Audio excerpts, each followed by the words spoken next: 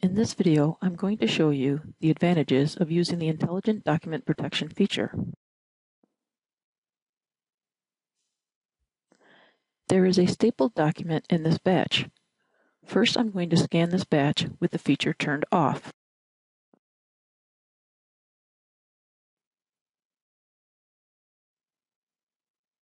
As you can see, the stapled document gets pulled through the scanner and the remaining documents get skewed and wrinkled.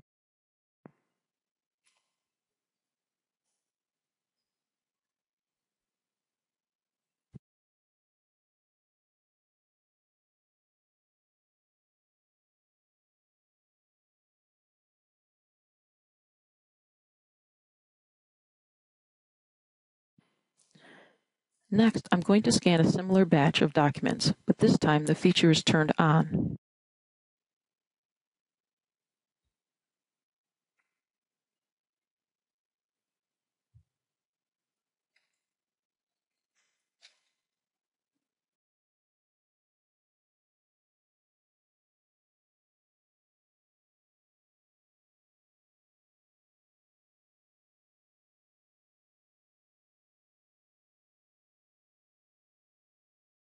When the scanner senses the stapled document, the transport stops preventing minimal damage to the document as well as subsequent documents.